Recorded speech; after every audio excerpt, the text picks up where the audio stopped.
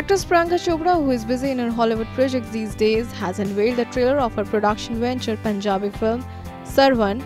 By tweeting the trailer on Twitter, she wrote, presenting the trailer of Sarvann, Purple Pebble Pics made in Punjabi film. Proud to work with this amazing team. The star-studded trailer launch of the Punjabi film, co-produced by Vashu Bhagnani, was attended by senior members of the Parliament of Canada on November 20th. At the launch, Priyanka said, We are excited to be here in Toronto to launch the trailer of Sarvann with an audience who are true enthusiasts of Punjabi cinema. I love coming here and I have always had such a warm welcome. This film is a part of Purple Pebble Pictures' commitment to providing a platform for great stories to be told, irrespective of language or genre.